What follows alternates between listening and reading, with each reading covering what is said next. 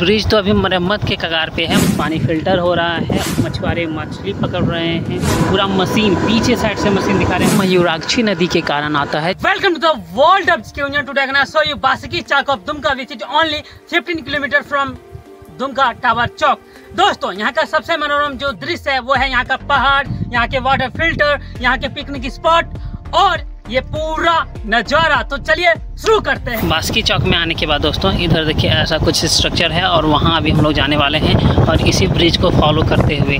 ये ब्रिज तो अभी मरम्मत के कगार पे है मतलब मरम्मत करना ज़रूरी है इसमें।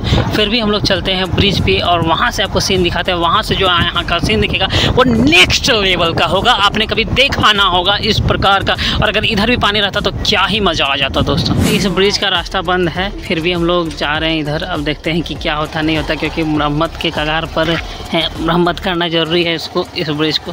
फिर भी हम लोग रिस्क ले रहे हैं, क्योंकि रिस्क के आगे जीत होता है दोस्तों ब्रिज पर भी हम लोग चढ़ चुके हैं। और ब्रिज देखिए कितना खतरनाक है।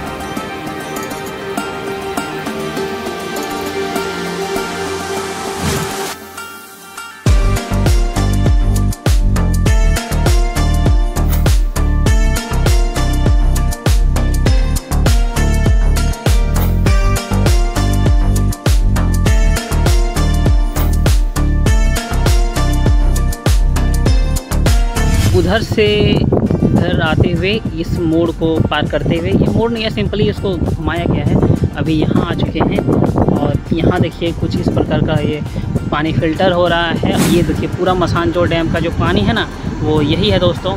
और इधर भी कुछ लोग आते हैं और जब यहाँ बारिश का मौसम होता है तो पूरा इस पूल में भी पानी भर जाता दोस्तों इसके नीचे बहुत पानी हो जाता। है अभी तो ये थोड़ा सा कम है, क्योंकि अभी गर्मी जस्ट स्टार्ट हो रहा है और यहाँ फ़िल्टर हो रहा है। इधर देखिए, कुछ कार वाले आए हैं, यहाँ कुछ लोग नहा रहे हैं, यहाँ मछुआरे मछली पकड़ रहे हैं और इधर देखिए, वहाँ एकदम सामने दोस्तों ये है सेल्फी ब्रिज। झारखंड का सबसे लंबा ब्रिज डैम पर बनाया गया है।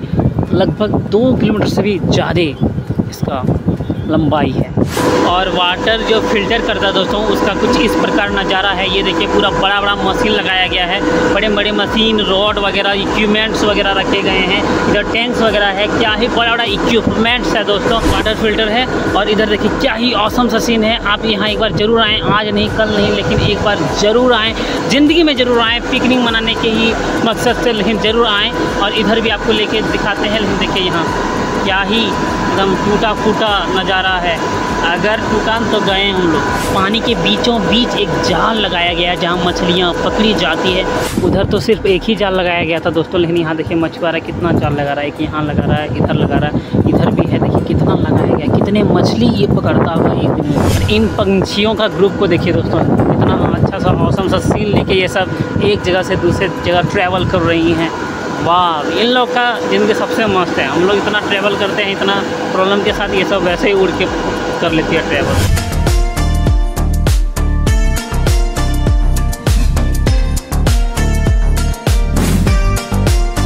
इसी मोटे से पाइप से पानी पूरा यहाँ सप्लाई होता है और इधर से भी हम लोग आ चुके हैं और यहाँ मछुआरे लोग मछली पकड़ रहे हैं।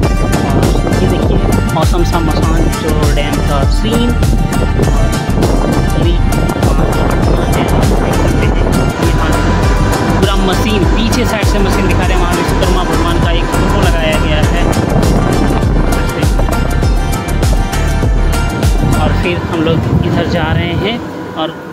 पानी आप देखिए दोस्तों कितना पानी है और एकदम हवाएँ बहुत तेज़ चल रही है।